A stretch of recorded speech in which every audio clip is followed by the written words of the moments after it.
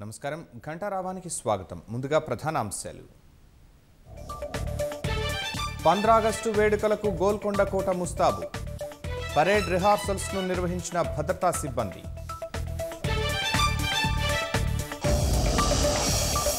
ఇబ్రహీంపట్నం దండోరా సభ వాయిదా పడే అవకాశం. రేపటి కాంగ్రెస్ కోర్ కమిటీ భేటీ తరువాత తుది నిర్ణయం.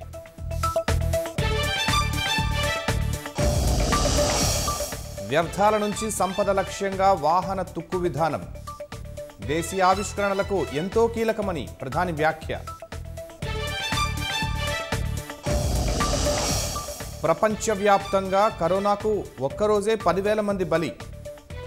వైరస్ కట్టడికి ఇంట్లోనే బందీలుగా చేస్తున్న చైనా సర్కార్. జీవితకాల గరిష్ట సూచీని తాకిన స్టాక్ మార్కెట్లు ఐదు వందల తొంభై మూడు పాయింట్ల లాభంతో సరికొత్త మైలురాయి.